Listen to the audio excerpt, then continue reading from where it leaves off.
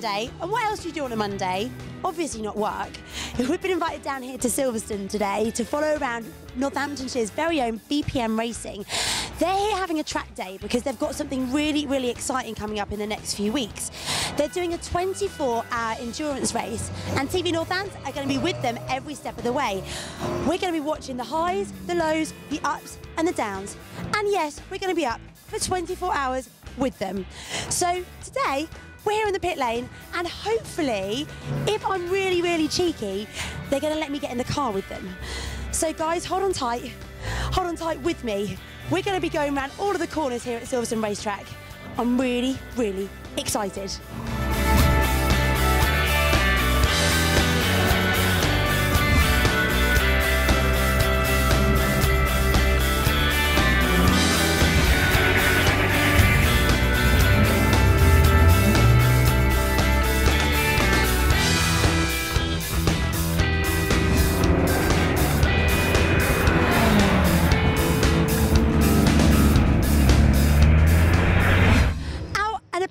Beautiful county, uh, county of ours. It's TV Northants, and we're here at Silverstone in the pit lane with Owen, who is possibly one of the best drivers I've ever met in my whole life. And that's saying something. Because I've been in quite a lot of cars with quite a lot of people, but man, you guys can drive. Well, it, it helps when you do what we do. Yeah, certainly. Um, it's amazing how you get used to it once you once you get into it and you start doing it a lot. Um, take a bit of coaching, move along, move along, move along, move up through the you know cars. Start with a basic car, move up, move up, move up. You do get you do get used to it, and it's amazing how quickly you move away from what you might call a normal driver. So, what made you first get into doing this? Well, I've been a bit of a petrol head for a long, long time, um, and always been interested in cars. And um, I sort of, when I when I could eventually afford it, I bought myself a sort of sporty car and thought this is great, really good fun. And then, then when, when track days started to become popular, I started to bring it on track days, and then uh, met up with a few people who have since become the team, um, and we just sort of decided that. This isn't this isn't enough anymore. Um, we need to compete, so that's exactly what we did. And your car is really, really cool. Tell us a little bit about it. Okay, the car is a Ginetta G50. Um, so it's it's based um, from a one make series called the Ginetta Super Cup. Um, they're made up in Leeds, although it sounds very Italian. It's actually uh, English through and through. It's a purpose-built racing car with a space frame. Um, it's powered by a three and a half litre Ford V6. It's got a Quaife six-speed fully sequential gearbox, so we don't need the clutch to change gears. And uh, yeah, it's a it's a good bit of kit. So, what are you guys doing here today with it? Today is our final test before our 24-hour weekend. So uh, on the 1st of October, up, we're up here for the Britcar 24-hour race. Um, it's a massive challenge for car and driver, and uh, because of that, the car has to have a pretty major rebuild uh, before it's before it ready for, before it's ready for it, which has just finished. So we brought it up here today. Uh, this morning we were out what we call shaking the car down. So basically, we take it out, we give it a bit of a thrash and we see if anything falls off. It's literally uh, as simple as that. And speak of the devil, there it is. and uh, we, um, yeah, so we see if anything falls off. It didn't, so we call that a successful test. That's a bonus. Yeah, yeah, that was good. And then uh, obviously this afternoon we've been doing a little bit of PR, including taking you good people out for a ride. And let me tell you, it was absolutely brilliant. And the funny thing is, as we're driving around, you start to become used to it, and you, you have a little little saunter along, thinking, "Oh, it looks quite nice around here." Then you realise you're going at like 120 miles an hour, and it's like, should I be scared? You probably should be scared. I was. so yeah, no, it's, it is it is amazing how suddenly it becomes the norm. But that's because we're out here with a lot of good drivers, and they're all they're all you know flying along, and uh, everything becomes a bit relative. And um, it's only really when something starts to go a little bit wrong that you realise how fast you're going. Like when I was in the car earlier, got out, and they turned around and said apparently they couldn't brake with me in it. So I don't know what that's saying, but uh, we went around a corner and it was a little bit tight, and I thought, okay, we're on the grass, but that's cool. Okay, so tell me about the um, race because obviously endurance racing is very different to that of a Formula One car, for example. Yeah, we, we chose to do endurance racing when we first started because we were a big group and we wanted it to be a team game. And endurance racing really is a team sport. You hear that said a lot about Formula One. Obviously, the drivers are the, the people at the front, and the people with all the media attention. But you know, you'll always hear them saying, "Oh, it's a team sport. It's a team sport," and it absolutely is. And even more so in endurance racing, we couldn't do what we do without the backup of the team. Um, and the, the other thing is, it's it, it, builds in a whole load of sort of tactical a tactical aspect to it as well. So we have to work out right how long can we go on this fuel? When do we need to refuel? When are we going to change drivers? What else are we going to do while we change drivers? So all these things have to be worked out. And the the 24-hour race takes that right to the extreme. It's the ultimate test really for, for, for, driver and team. So the team have to get the car in tip-top condition, um, and the drivers they have to be able to race for a long time. There'll be four of us doing it, so we'll be doing six hours each, uh, probably in a stint of about 80, 90 minutes. I would think that we, we think that's roughly how long the fuel's going to last.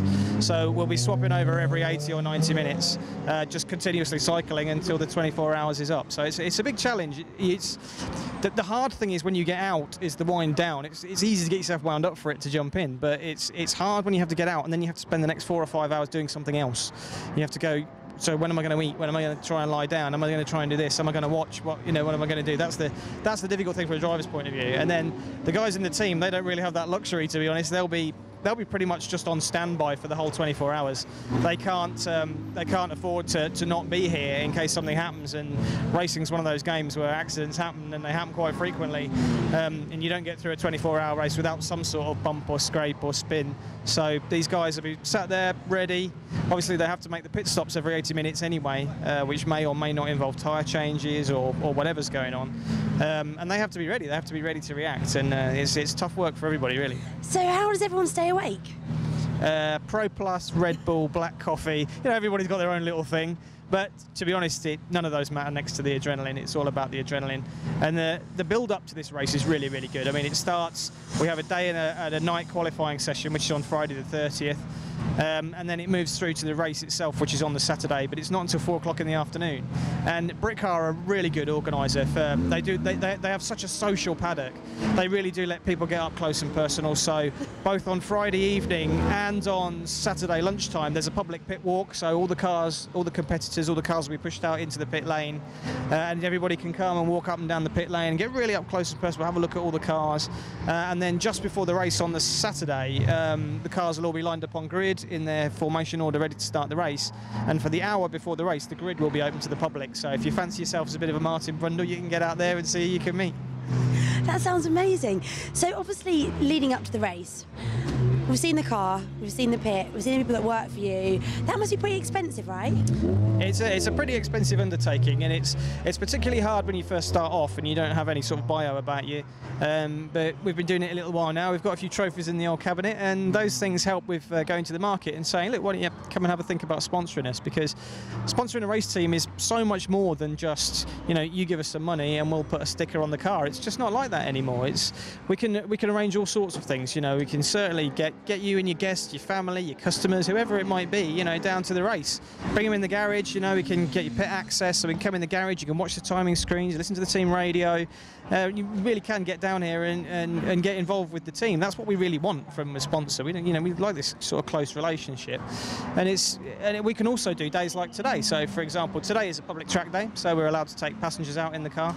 Uh, obviously, today we had a little bit of testing to do, and then we invited you guys down. But we do that uh, fairly regularly for sponsors here and there, so they might bring dozen, half dozen, dozen people down, and uh, yeah, we strap them in and take them out for a passenger ride.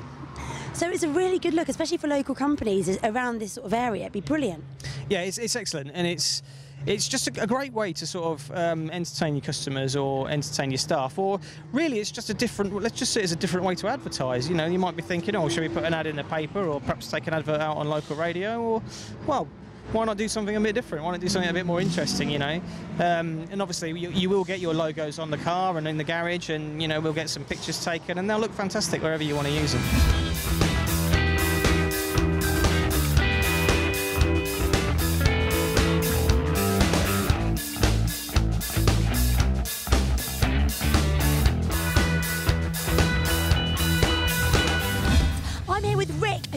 BPM team who are doing the 24-hour race very, very soon. How are you feeling? Are you nervous? Yes, I'm uh, getting into it now. It's, it's taken a while. I've only been in the car three times so far with this team. So I'm a rookie to the, the car team. and we're able to come out here today on this Gold Track Day. Gold Track do some uh, great uh, track days at Silverstone, so we've joined onto this one to do some testing and give me a bit of time in the car as the third driver for the BPM team. So only three times in this car, and then in a few weeks we're going to be driving around the clock. That's pretty amazing. That's right. It's uh, first to me. I'm used to doing uh, 15 minute races or 40 minute races maximum in 40 year old Jaguars.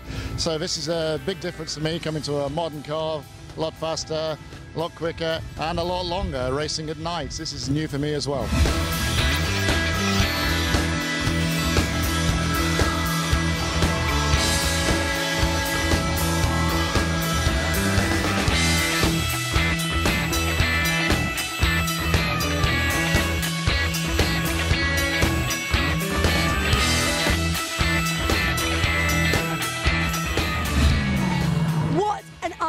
It's been absolutely brilliant, brilliant fun. Whizzing around that track is like nothing I've ever experienced before. We wish BPM Racing all the very, very luck for their 24 hour race. We're going to be sharing it with them. Guys, make sure that you all tune in and be part of it. And if you're free on the weekend of the 30th of September, right through to the 2nd of October, make sure you check it out. Come down here and share it with them. It's going to be a really, really lovely way to spend a weekend. I'm Carly Wilford, and this is TV Northants.